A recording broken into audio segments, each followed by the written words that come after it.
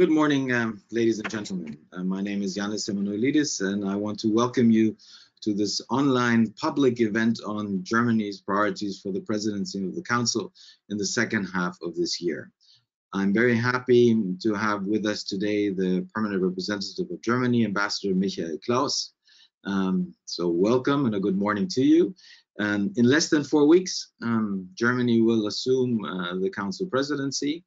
And as a founding member, it is already the 13th time that the country will assume that role.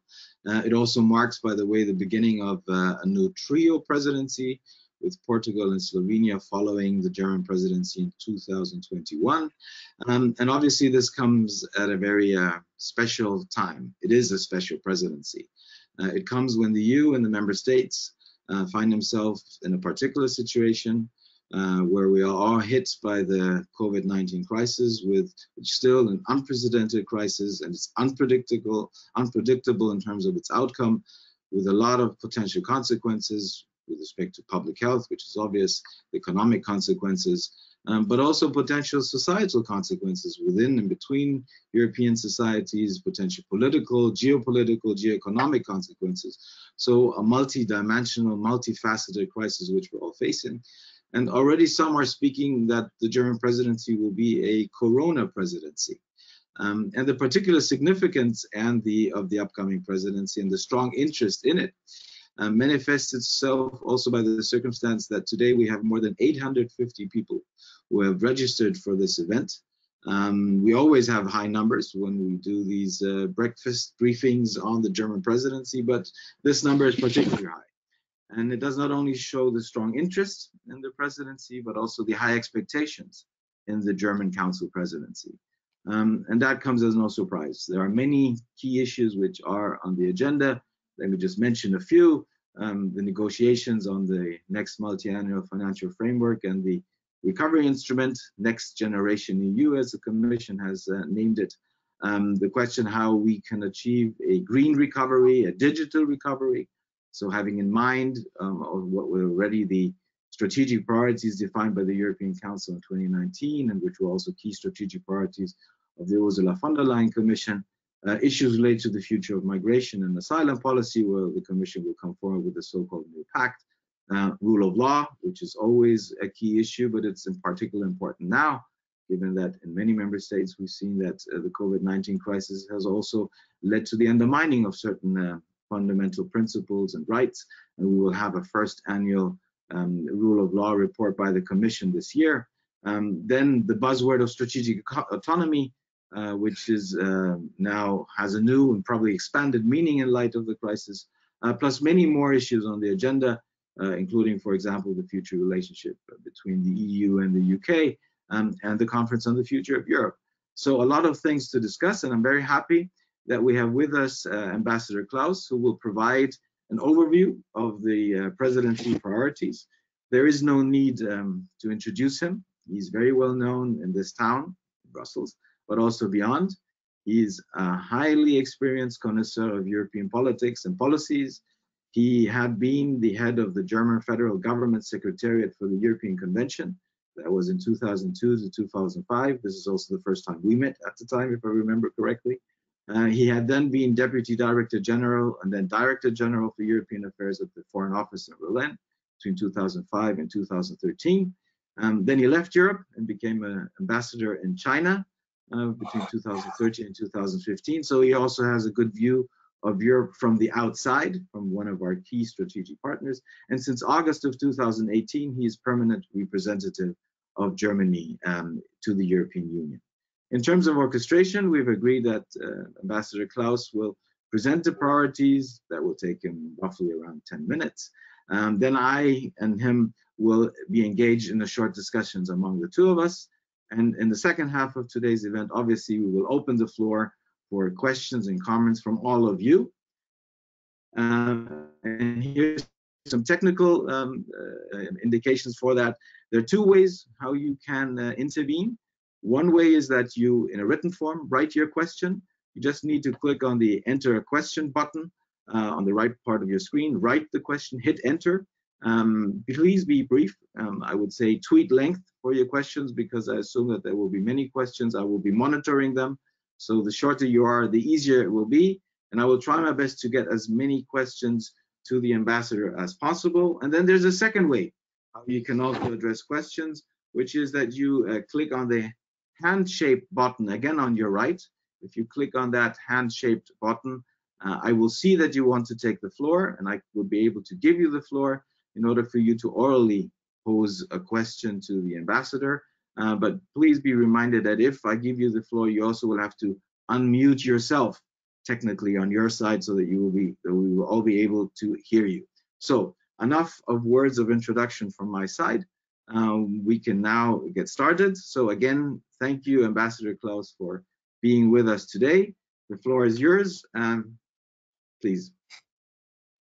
Well, thanks very much for the introduction and uh, good morning to everybody. It's a pleasure to participate in this uh, virtual meeting on the German presidency. And uh, by the way, it's my third presidency. The first one I assisted here as a junior officer in uh, 99, that was the last millennium. and in uh, 2007, I did it from the Berlin side. So let's see what it's going to be uh, like this time. Um, as you have already uh, said, it's not the presidency that we have been preparing for for years.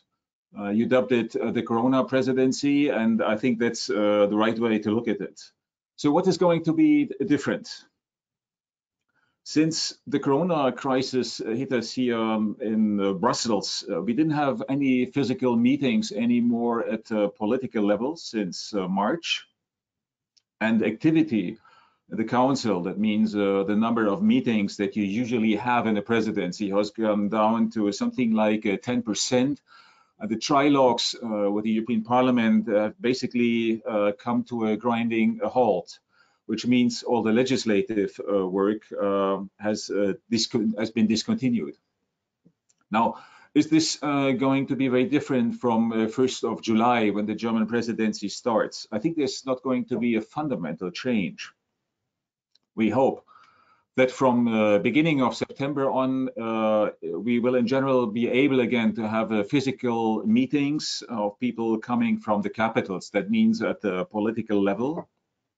But as far as council work is concerned, uh, the rule of social distancing will be with us, at least until the end of the German presidency and probably beyond. Which means that the capacity of the German presidency when it comes to meetings will be maximum 30% of what usually we would be able to do. Now, obviously, we try to compensate uh, by using video conferences like we do now. But uh, experience shows they're only 20% as effective as the physical meetings.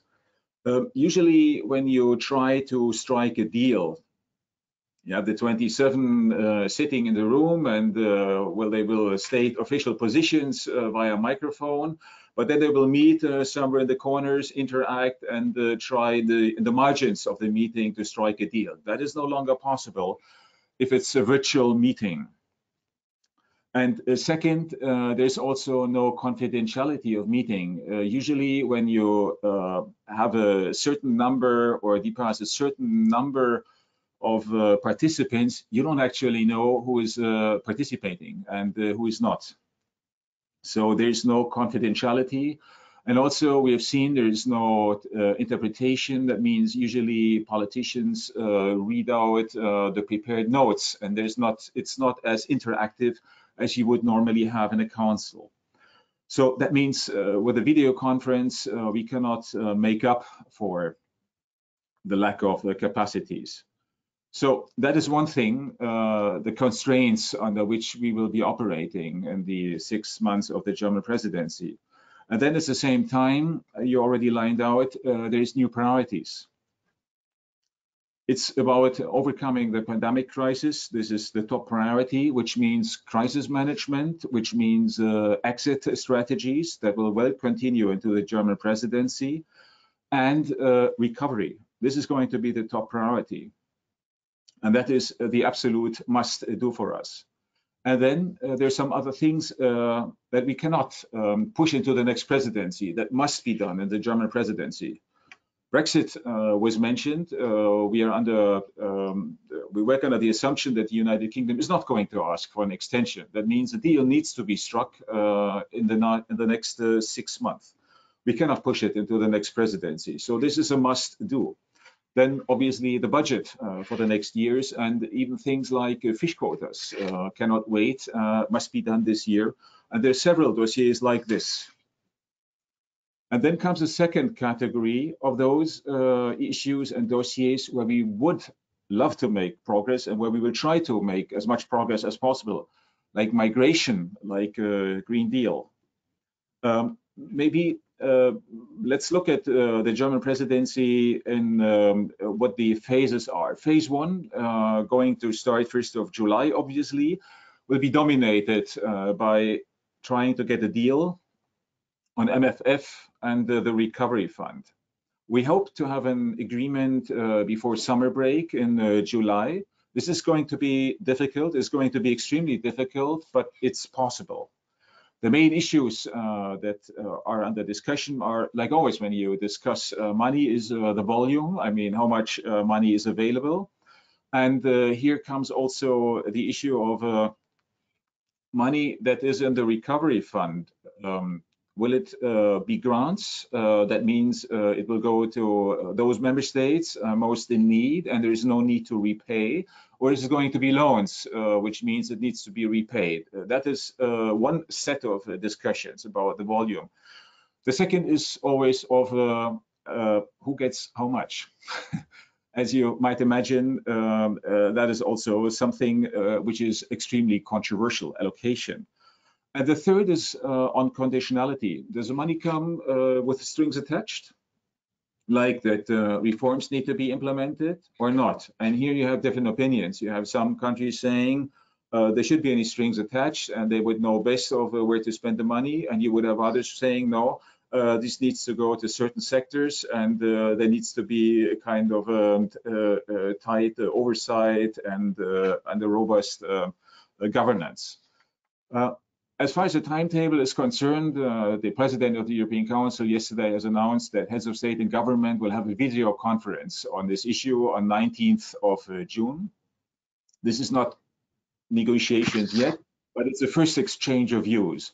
And then uh, we expect, uh, but it has not been scheduled yet, a physical meeting of heads of state and government uh, in July, probably in beginning of July. But that is up to President uh, Charles Michel to decide. Well, that is uh, phase one, MFF recovery, and then comes phase two. And this is going to be dominated uh, by Brexit. Uh, I, I, can keep it short. It's about the future relations between the European Union and uh, the United Kingdom.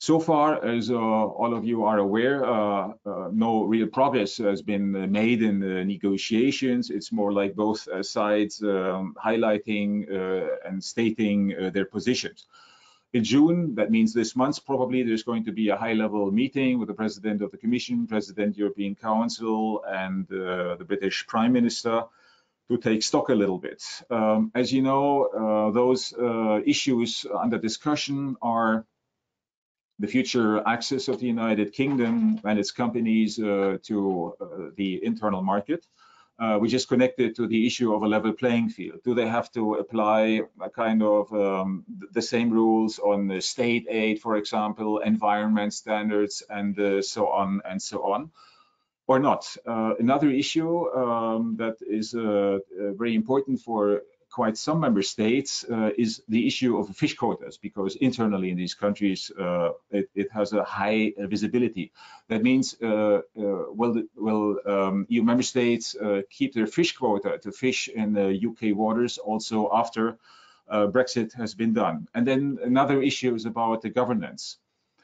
So what if there's a disagreement on how to read the treaty and what can be done?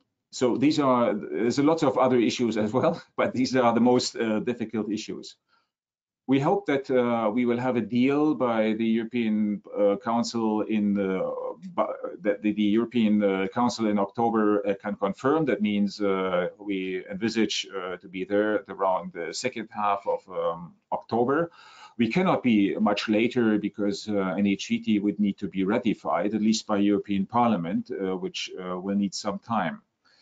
So is a deal possible? Uh, yes, uh, definitely. But I think it also means that the UK needs to have a more realistic approach. Um, to, to, put it short, I think you cannot have a full sovereignty and at the same time full access uh, to the internal market.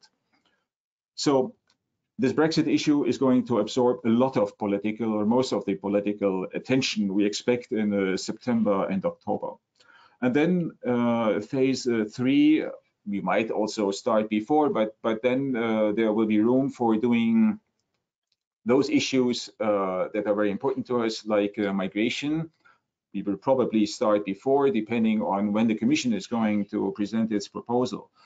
For five years, uh, uh, we have been negotiating uh, in the Council without result because this issue is highly ideological, and that's, that means it's also highly toxic.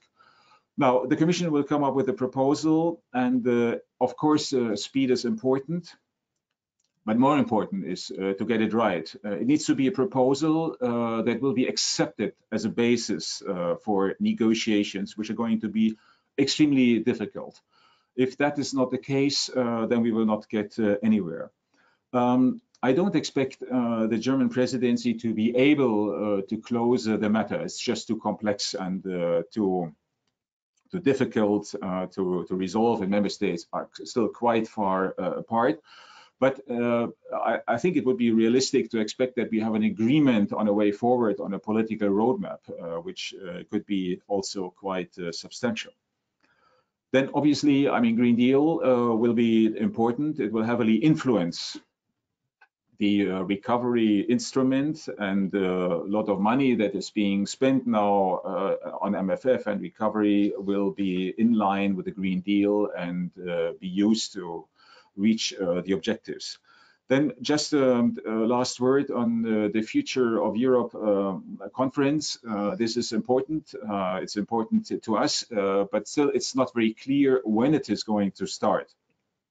As I said, fighting and overcoming the pandemic is uh, our top priority.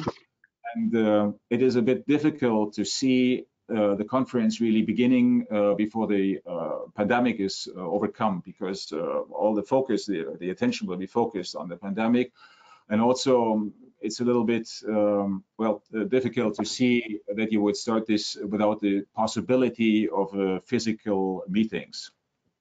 And then obviously, I mean, there are other things uh, that are important uh, to us, which might not have uh, the same visibility as the issues I just mentioned, uh, like rule of law and uh, many others, but uh, I don't want to elaborate on this, but that just as an overview on what we at this stage believe the Corona presidency will look like.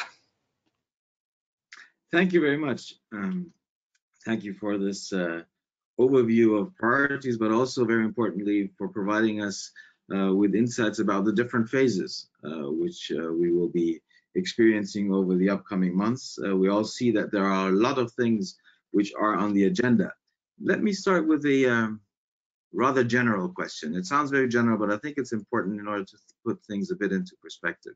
Um, you used also the term uh, Corona presidency um, which many are now using, and I think it's the right not, thing. Not officially.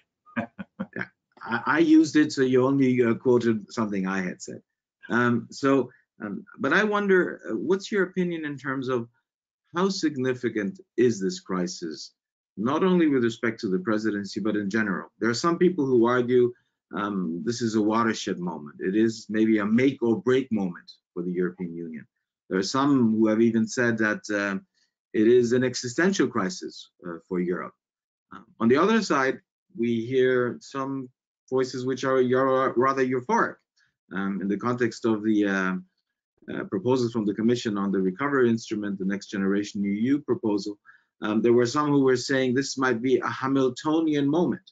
So they foresee that we might make a big step forward and use this crisis uh, in order to progress with respect to European integration in a massive way if I would ask you, how would you define this particular moment in which Germany is assuming the presidency from a broader perspective? But when um, the first, uh, when the when the last uh, big economic and financial crisis uh, broke out, 2008 and the following years, and we still haven't completely overcome all the damage uh, that had been uh, done. And I compare to now, I think this is uh, a much bigger crisis we face here. And I would say, yes, uh, it, it is existential. If you look uh, into some um, of our member states who have been extremely hard hit, um, this is existential, and that is also the reason why uh, Germany did something which nobody had expected, that we had a Franco-German initiative uh, saying uh, we would be ready to offer 500 uh, billion euro in grants, which need to not to be repaid, and that is uh, something that I think nobody would have expected a couple of weeks ago. But I think it's due to that everybody, uh, including in Berlin, did understand the, the dimension of this uh, crisis we are facing. Um, so that is something um, that will have a repercussions. I don't know how much it is going to change the European Union. I think at some stage, uh, probably later this year, the conference uh, on the future of Europe uh, will start, and I expect this uh, to be an issue. Consequences uh, that might uh, flow from this. Is it a Hamiltonian moment or not? It depends on what you understand by it. if it's the first step towards the United States of of Europe, I'd be maybe a bit more cautious. I think that would be a bit premature to see. In uh, 20, 30 years time, maybe we'll look at, back at it and see it was or it wasn't. Yes, I agree with you on that. Uh, I think Hamiltonian moment is describing probably something which goes a bit too far. But having said that, and, and having, sorry for this, um, for you sharing your um, your general impressions, um, with respect to the overall role of the German presidency, in the past, we've always heard when the country assumes a presidency that the country will try to be an honest broker between member states. And obviously, this is a key role which uh, any presidency has to play. Um, it's also, um, and we had an event yesterday with uh, uh, State Minister Michael Roth, uh, who was using the term uh, bridge builder. We need to build bridges between member states to find compromises. At the same time, um, there is also high expectations with respect to the leadership role of the German presidency. So I think if you compare it to presidencies previously, uh, one because of Germany's size and significance um, as a member state, but also the particular moment with the COVID-19 crisis, there are a lot to say that this presidency will have to show particular leadership in moving things in a certain direction, maybe even having a vision of where things should be moving in future. How would you define in more general terms uh, what role the presidency should be playing under the present circumstances? Well, I think the big challenge uh, we are facing now is actually the survival of the Eurozone and uh, the European Union. And uh, we have been, I think, rising to the challenge uh, with this Franco-German initiative, which paved the way for the Commission proposal, uh, which I believe will there will be changes here and there, but basically uh, that is what I would expect uh, to, to, be agreed uh, even before the summer and to do the trick. And I think also here we have been shown that we are already in a presidential mode. And yes, I mean, it is showing leadership at the same time as this will only be accepted if we're seen as an honest broker and not promoting uh, only national positions. I mean, honest broker means that uh, you put your national uh, positions a little bit aside. I mean, you don't forget them uh, completely, but but this is uh, is quite different. I mean, the, uh, overall objective is to reach agreement in the Council and with the European Parliament, and to, to to rise to the challenge and to, to get this done. So uh, leadership, yes, uh, definitely, and honest broker at the same time, because otherwise it will not be accepted.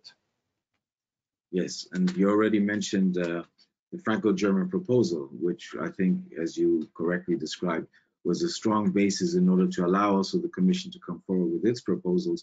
So it's also the co-leadership between uh, Berlin and Paris and making sure that things will be moving. Um, one question related, and we have already a, a lot of written questions which have come in, so I've been scanning them parallel. there are a good number of questions related to uh, obviously the MFF and the recovery instrument. Um, so let me come to this before I open the floor by taking even more questions and maybe also allowing people to raise their voice uh, orally. Um, you've mentioned that uh, this is that the Commission's proposal is a basis. Obviously, things will have to be discussed. You mentioned key issues which will be on the agenda, uh, the overall size, the conditions attached, um, links to the rule of law uh, question, um, also maybe the balance between loans and grants uh, in the overall compromise. Um, but you were saying that there's a good chance that we will get an agreement um, before the summer break. Um, I think that, that that there are strong political arguments in favor of that because I personally believe that the economic situation in many member states will deteriorate over the upcoming months. So maybe in the fall, it might be even more difficult to find a compromise. But what makes you confident uh, that actually a compromise can be found um, on the MFF and the recovery instrument? Um, and there was also a question which was posed um, by two or three who wanted uh, you to say a bit more about the MFF component of the compromise. Um, so what kind of MFF can we expect? Um, so these two things, why before the summer, why do you think that there's enough pressure to get there?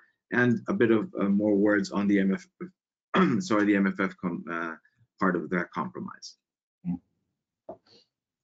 Well, eight days ago, the Commission proposal was uh, presented to the COREPER, and uh, as uh, uh, usual, there, there, was a you know a tour de table Uh, where every uh, delegation uh, gave its preliminary view, and it was interesting to hear and uh, and very comforting that no one said this is not a basis for negotiations.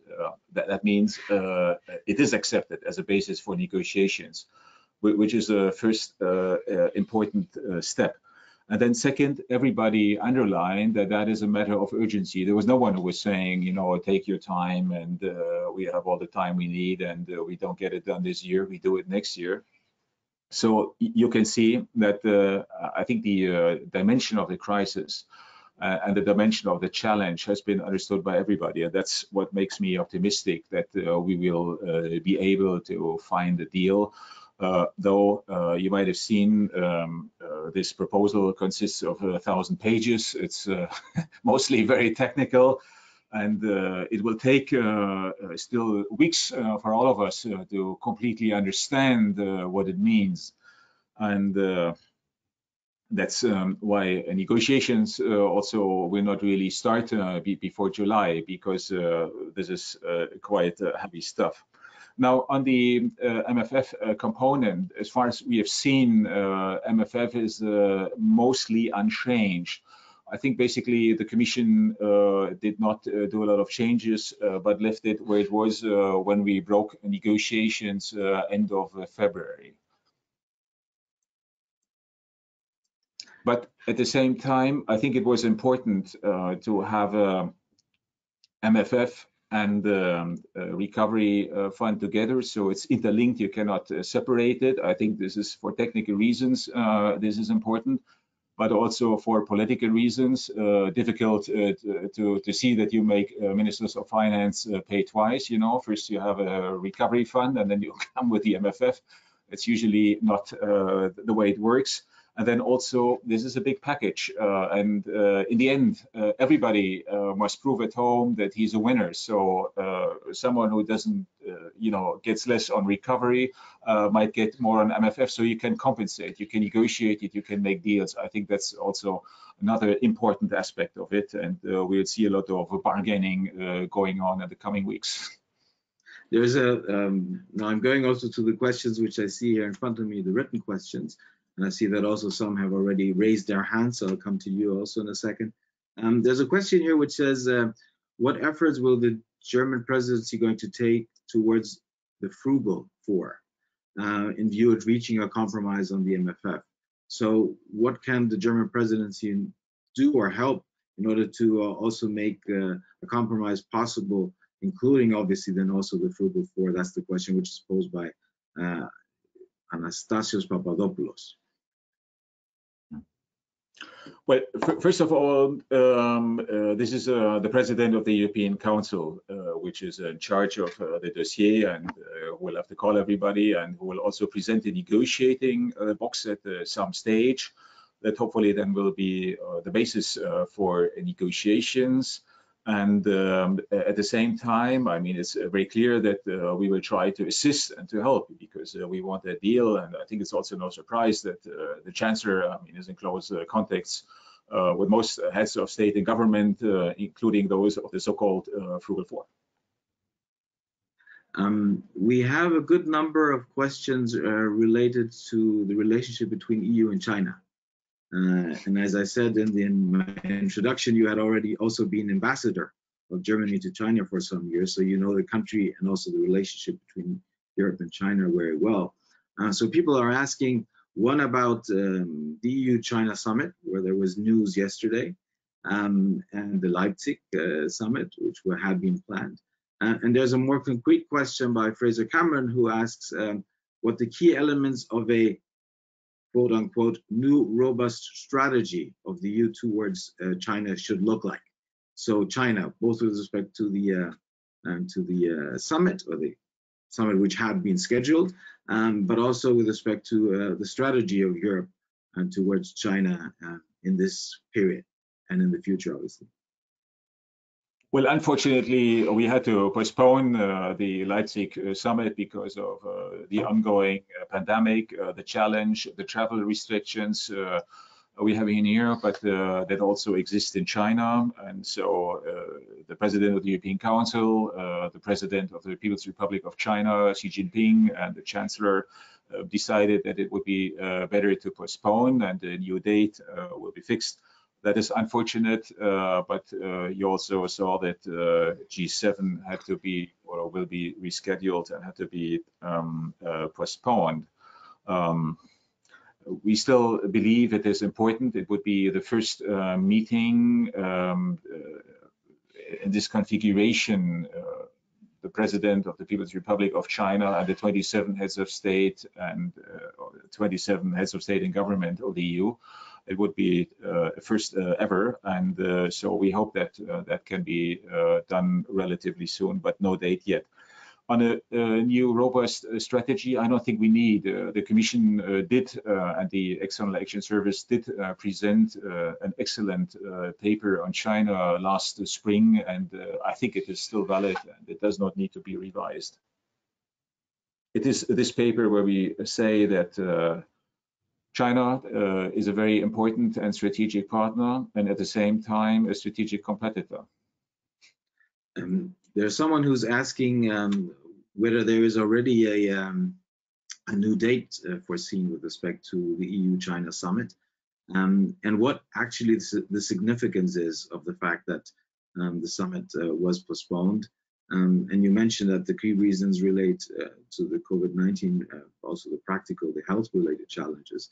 Um, but there's a question here from someone in the audience who's asking as to whether there is also a, that this is also potentially a political message. Uh, and the question is making a link um, not only uh, between the EU and uh, China, but also with respect to the US-Chinese relationship and as to whether this uh, did also affect the fact that, the, that there is a postponement. I think I can be very short on this. So no new date has been fixed. It will take some more time, and uh, uh, the postponement was exclusively COVID related. Good. Um, I will try now to go to um, the audience, to some who have uh, raised their hands. So I have Andre de Munter, um, who has raised his hands. Uh, you have been unmuted. Can you hear us? Uh, yes, perfectly. Thank you. Can you hear me? Yes. Yes, we can hear you. Please, uh, your question. Thank you. Uh, Mr. Ambassador, I, am Andre de Munter, uh, working on uh, enlargement in the European Parliament. And I have a question on the Berlin process, uh, which was uh, for candidates and potential candidates in the Western Balkans, which was launched at the initiative of Chancellor Merkel in August 2014. My question to you would be, how do you see the future as Germany has always been a key player uh, and promoter of enlargement, how do you see the future of this Berlin process, in particular in light of the um, new methodology launched by the Commission in early February, which also foresees uh, more um, regular EU Western Balkans summits? Thank you very much. But first of all, uh, we continue to be one of those who are very much in uh, favor of enlargement, and uh, you know they were about to uh, start uh, and to agree on a negotiating framework with Macedonia and uh, what was called the Republic of North Macedonia and Albania. This will be one of the other important topics in the German presidency. So I would expect that uh, to be sometime in uh, in in autumn. As far as new methodology is uh, concerned, uh, I think we're fully behind because uh, I think it does help uh, to streamline negotiations and to have more interactions and also involvement of member states. And when it comes to Western Balkans, um, this uh, continues uh, to be a strategic priority uh, for us. It's it's about enlargement, but it's also enlargement is also uh, for us important uh, because of the uh, geopolitical situation. We, we, see that there's quite a few other foreign actors who try to gain influence, like China, Russia, Turkey, and uh, that is something that uh, we also have to to keep uh, in view and that's also why we advocate of uh, moving on enlargement and uh, taking the Western Balkan into the European Union. Thank you. Let's take now a next question. Remo Hess.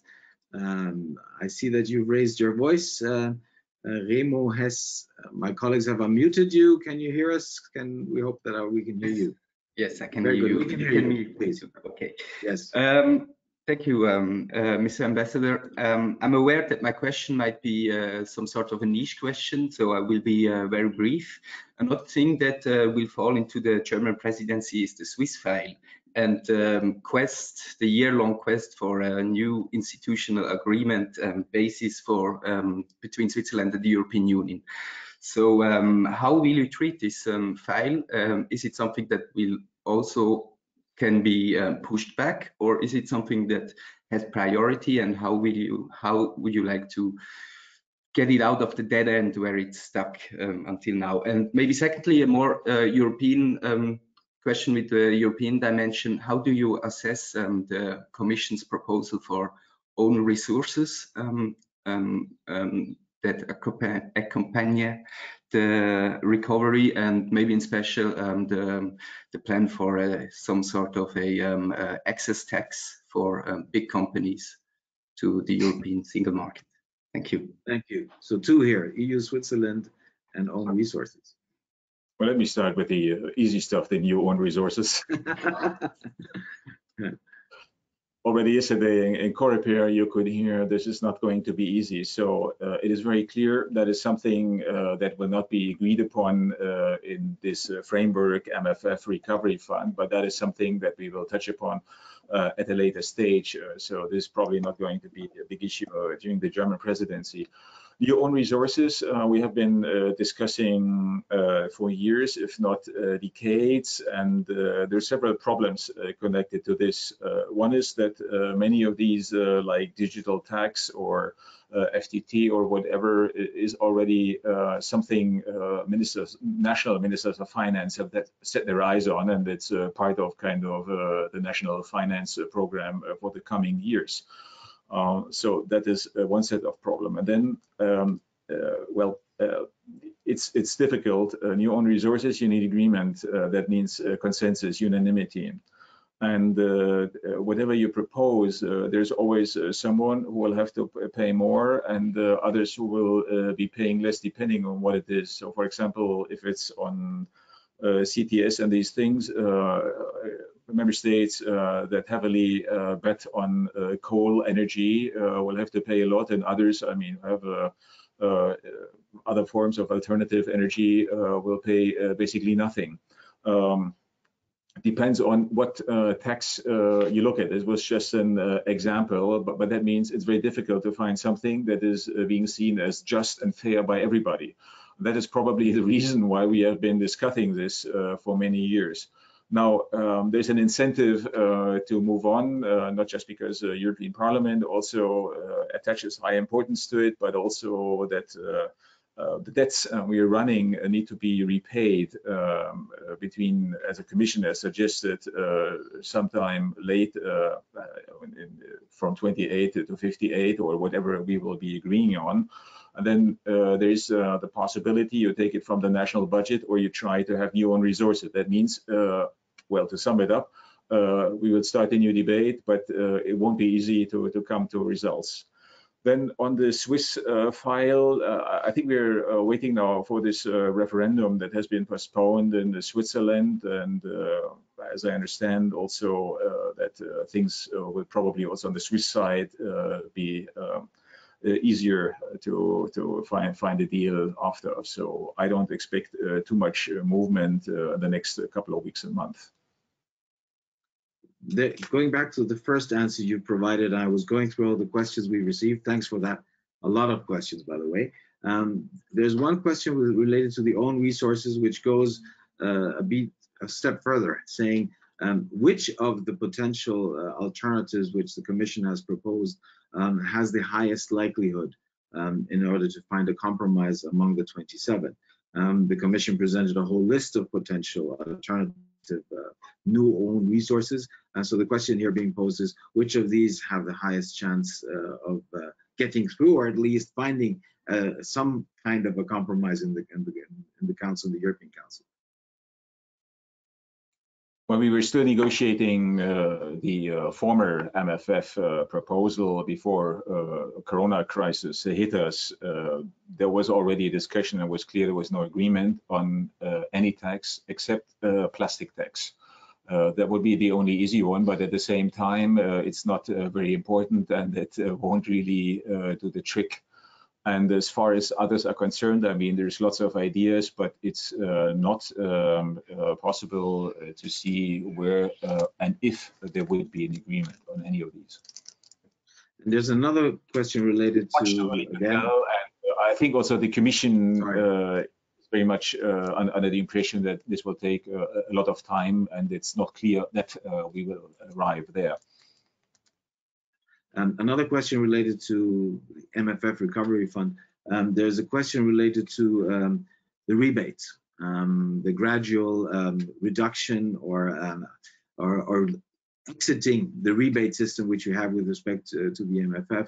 So the question is, uh, what kind of progress do you see with respect to that issue, and how important will it be in the context of the MFF negotiations?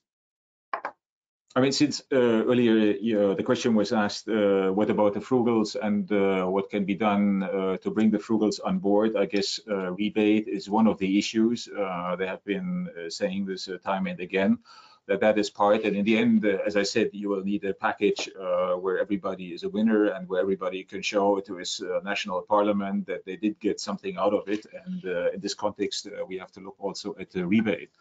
And it is very interesting uh, to see that also the Commission has uh, revised its uh, former position on rebate, where they said it's got to be phased out uh, quite rapidly. This is not what they're saying uh, at this stage. They say it needs to be phased out at some stage, but much later. Very good. Let's go back and, and listen to another question. Uh, I have here on my list Tanya Milevska. I hope I pronounced your name correctly. Uh, Tanya, you're being unmuted. Uh, we can hear you, I think, already. Yes, yes. Can you hear me? Yes, thank you. Yes, so I'll just go back to enlargement, if I may. I'm Tanya Milevska from the Macedonian News Agency.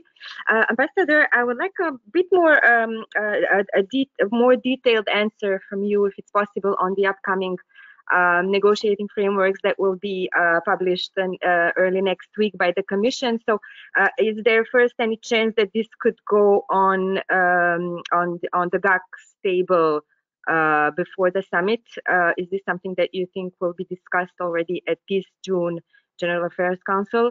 Um, and and um, do you think that there's a chance uh, to have a clear time frame? Um, in the conclusions when when would uh, the first IGC then take place uh, uh, for, uh, for, North Macedonia? And and just um, a, a, little sub question: uh, Will the upcoming uh, elections that are supposed to take place in North Macedonia could this play a role in in the in the conclusion on the member states part? Thank you. Thank you. Well, as you know, the usual way of procedure is uh, first uh, the Commission has to present its proposal. Uh, that is obviously uh, going to happen uh, next week. Uh, then we will take a look at it. it will go to the working groups and they will try to find out exactly what it means. there will be first discussions. Then it goes to Coreper and then it goes to Council. But I don't expect that in June there will be a lot of progress at the political level. Um, this is going to be at uh, groups level and uh, maybe uh, a pair, but uh, I don't think it's uh, going to go beyond. And that's also why it's very difficult to see days. I mean, first of all, we have to see position of uh, member states and um, I cannot give you any names, but when when you ask about elections in uh, North Macedonia, whether they will have an effect or not. Um, well, we have been hearing from uh, some member states uh, that uh, that will uh, kind of also influence uh, their decision on the negotiating framework, which will then be negotiated in, in, in council first. Thank you. let's take one more who has raised his hands, Leon de Graaf. my colleagues will unmute you, Leon de Graaf. Yes, you're not unmuted. Yes, hello. Thank you very we much. You.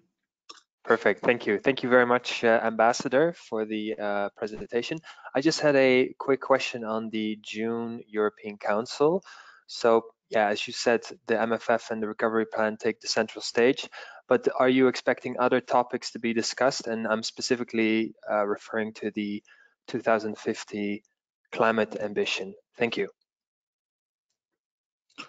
No, I would not. I mean, it's up to Charles Michel who uh, will um, uh, tell us what the agenda is going to look like. So clearly, uh, the focus will be, as you said, on the recovery fund and the MFF. Uh, so there's going to be the first uh, debate of heads, uh, heads of state and government. No negotiations yet, but the first exchange of views and there might be other issues as well. I can't tell, but uh, I, think it's unlikely. Uh, I would not expect uh, to see 2050 uh, climate targets to be part of it. And anyways, uh, what you can do in a video conference is uh, very limited. You can only have a very limited set of agenda items because usually if you have every everyone taking the floor, that usually is uh, at least uh, three hours. So if you have two items, uh, already close to six hours, and you have a third item, it, it, it, just doesn't work that way. So, but by 2050, I think this is not an issue right now. Very good. Uh, let's go to some of the written questions now. There have been a number of people who have raised um, the Brexit issue or the future relationship between the EU and the UK. Um, and then I'll take one by Jennifer Rankin from The Guardian, who says that on Brexit, you said that uh, UK needs to be more realistic. But what if the does what happens if the UK doesn't move? Should both sides prepare already for a no deal? That's her question. Well, at some stage, uh, we will have to look at uh, whether we believe uh, that uh, an agreement is, is, is, very likely, and uh, then probably not a lot of contingency measures have to be planned. but, but if it is quite unclear, definitely also on the EU side, we'll start doing this, yes. There's uh, there are a couple of questions related to uh, migration asylum policy. Uh, in your introduction, you said that this is a difficult file, and we all know that, and that it's, uh, I think you said it's ideological often and toxic. I think these were the words which you mentioned. Um, there are a number of people who are asking questions uh, with respect to migration and, and asking as to whether um, relocation and mandatory relocation will have to be part of the compromise um, or not, or whether there will be a compromise which will include, exclude, sorry, uh, mandatory relocation, a topic which has been heavily discussed over years now. Uh, what's your take on this one? Thank you. Well, let me give you my uh, as a personal assessment on this. So I think there's a agreement that uh, there needs to be mandatory um, solidarity, but uh, the question is, can solidarity come in different forms like there's a, some member states uh, who do relocation and others who decide to give money. For me personally, it's difficult to see that, uh, you know, you can just say, um, uh, well, uh, will not take any uh, migrants or refugees, never ever, and will just, you know, pay a little bit of money or do some other things to help. Uh, basically, that is the situation that we're having now, and uh, you, you, can see that uh, there's a lot of refugees, migrants now massing in, in Malta. You have this in Cyprus and Greece and uh, there's uh, little solidarity on this, and this is uh, what needs to be done. So in the end, I don't believe uh, that you can really have a solution to the migration uh, file if not in the end at some stage there's a, some kind of mandatory relocation. Maybe there can be an interim phase, but but in the end, I think it's for me very difficult to see that there could be an agreement and a functioning system for migration and asylum without mandatory relocation. Thank you. There are there's another question, uh, another topic, uh, which relates to uh, minimum income. Um, we know that there there will be a commission proposal. We also know that um, the German presidency or parts of the German government um, uh, had said that uh, minimum income will be something which will be pushed um, during the German presidency. How do you see this file also now in light of the new circumstances related to COVID-19? But politically, uh, it's an important uh, file, continues to be an important file. At the same time, uh, as far as I remember, the Commission is uh, going to come up uh, with a proposal quite late uh, in the German presidency. That means it is unlikely or impossible that we will close this, but discussions then could start in the German presidency, and that is something we would like to see. Very good, thank you. But it's also not uh, it's also not going to be easy uh, to solve this because uh, there's different uh, systems in every country and uh, also uh, minimum wages differ quite a lot. So somehow you will have to find a good compromise that takes on board everybody because this is also unanimity. Let's take one more person who raised um, his hand. It's Adam Isaacs. Um, Adam Isaacs uh, you are now unmuted. Um, can you hear us? Can we hear you? Yes, thank you very much. Yes, we can hear you. Thank you. Um, we had we opened the foreign policy discussion with a discussion on China, um, but I was wondering um, on the multilateral framework, what uh, thought had been given to the proposal for the D10, this sort of widened group of the G7 for democracies. And the question, which I'm sure you won't answer, is what strategy and what thought is being given to how we preserve the transatlantic relationship in the case of uh, Trump being re-elected in November? That's an easy one. well, uh, on uh, G 10 uh, or whatever uh, different ideas uh, floating around. so for, for the time being, I mean, we stick to G7, and I think we've been very clear. So if other countries might be invited, it is not as participants, but as guests and uh, this can only be unanimously decided by the G7 uh, whether they want to enlarge in this uh, group or not. And uh, you have followed this uh, discussion probably about Russia, and I, I don't see that uh, there's any possibility to, to, make Russia come back to G7 as long as the present situation, also concerning Ukraine, prevails on uh, transatlantic relations, I think that is something uh, uh, we, we come to when uh, elections uh, have been done and we know the results. yes, um, there is. Um... Now it's MFF recovery, Brexit, and uh, transatlantic relations. I don't exclude might be uh, an issue uh, in the third phase of uh, the German presidency, but we'll have to see first what the situation is. Going back to phase one, because there's a question here um, which is linking um, the rule of law um, to the MFF and to uh, conditionalities, uh, meaning if there are uh, continuous uh, breaches of rule of law, um, also maybe also indicated in the annual report, which the Commission will present, um, how will or what kind of MFF um, conditionality can be foreseen, and is it likely, given that you need a consensus of all member states on an agreement on both the MFF and the recovery fund instruments? But for us, this uh, uh, rule of law um, in MFF is uh, is very important, and we like very much what the Commission has been now proposed for for a second time. that uh, if there are problems with the rule of law, then uh, they can uh, stop giving money to the concerned member states unless there is a, um, a qualified majority in the council against the commission proposal, which means a reversed qualified majority. We think this is a very strong signal and we would very much like to see this part of the MFF. Now, as you just said, I mean, uh, MFF and Recovery Fund, this is unanimity, so everybody needs to agree to it, and uh, that means uh, that is something uh, that needs to be negotiated. And I would rather believe uh, that is something that is uh, will only be resolved at the level of heads of state and government, and not by by you know bodies which are preparing uh, the European Council. So that is something that is going to be for, for the final stages of uh, negotiations, obviously. Yes, definitely a tricky and difficult one. Um, one question which is being posed, and it again relates to uh, to the recovery instrument, uh, relates to the uh, role of the Green Deal. So, in which way you were referring to the Green Deal, uh, but the question was more related to that's what I also mentioned at the beginning, the green recovery.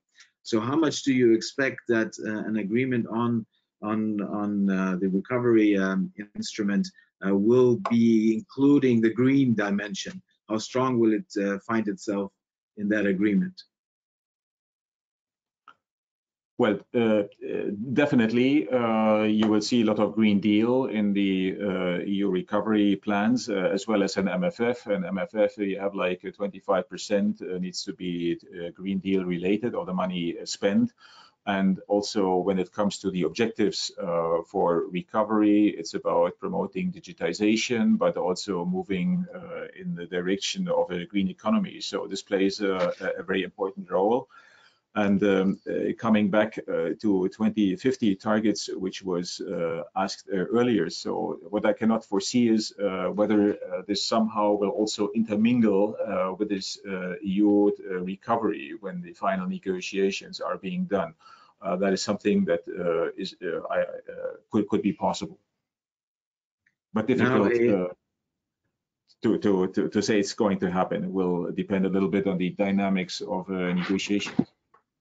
Just one um, last question, which was posed in a written form because we're running out of time, unfortunately. It relates to the Conference on the Future of Europe. You were referring to that in your introductory remarks, um, also with respect to the process and the difficulties now, obviously, the pandemic is causing to bring people together in the context of the conference. Uh, but here someone is asking, um, when do you foresee that the conference can actually be launched? Uh, we before the crisis started 9 may was a date to officially launch it. Now the question is when will it be launched? And the second question related to the conference is uh, about the content. Um, so in light of the covid-19 crisis in light of the experiences we're going through how do we need to adapt uh, in terms of what the conference will actually be, will be dealing with? What are the subjects uh, we need to concentrate on? And how does the covid-19 crisis change um, that from the perspective of of, of the content of the conference. Yeah, I would not be in a position uh, to give a date yet. Uh, I think what one can say is uh, once uh, the pandemic is uh, overcome and the physical meetings will be possible again, I think then uh, it's very likely that um, the conference on the future of Europe will start. So maybe it's going to be in September, maybe it's going to be in October or later. It's a bit uh, difficult to see at this stage. Uh, that's also why from our side, uh, there's no date foreseen and uh, we'll get to that uh, later. When it comes to the mandate, obviously uh, this will COVID and the lessons learned um, that will have to be included. clearly, I mean, this is going to be a different conference after COVID than before COVID. Many of the issues that had already been in these draft uh, mandates uh, remain relevant, but I think uh, there will be uh, uh, further uh, to, to, come, and that is something that we are reflecting right now also on the council side. I believe the same is true for, for European Parliament, that will have to be adapted and to be taken into account. I would say it's it's about basically about lessons learned and what will have to be changed, and maybe we also talk about new competences for the European Union. Now we only have two minutes left, so let me pose a final question. Um, if we put ourselves um, into uh, late December or early January of next year, um, and we ask ourselves as to whether the German presidency was a success or, knock on wood, a failure, um, what would you consider would be the issue which will be uh, the key element on the basis of which you will be able to answer that question. So what is the key measure, measure the success or again, knocking on woods that it won't happen, a potential failure of the German presidency? Well, uh, I think the number one issue is uh, that we find an agreement on MFF recovery. That means uh, that we preserve uh, the Eurozone and the European Union and that uh, we all uh, have a possibility uh, to, to, come uh, out of the crisis uh, in not too bad a shape. I think this is the overall issue. And the second, I would say, is Brexit. If we get these two things done, I would say this will then be a remarkably successful presidency. Very good. And I think the first uh, uh, depends a lot on us EU27. On Brexit, we also depend on what happens in London. So uh, we have now run out of time. I want to thank you very much for taking this hour with us. I know how um, how difficult it is uh, as you are approaching the role of being becoming uh, the ambassador, the permanent representative of a country which will be holding the presidency weeks ahead. So thank you very much for sharing your time with us. I want to also thank all the participants. We had uh, a, a, big lineup, a lot of people who participate, many questions that were raised. I hope that I um, was able to cover a good number of them. I was not able to cover all of them, definitely not because there were too many. Thank you for that. We will also find a way to transmit uh, your, your questions and some were even rather comments um, to the German um, to the German permanent representation so that they're aware at least of what you had in mind. So thank you again, Mr. Ambassador. We wish you all the good luck uh, for the German presidency. We will be following it closely, obviously. And thank you to all the participants for being with us uh, this morning. And I wish you a good remaining day. So thank you. Thank you very much and have a good day, everybody. Thank you.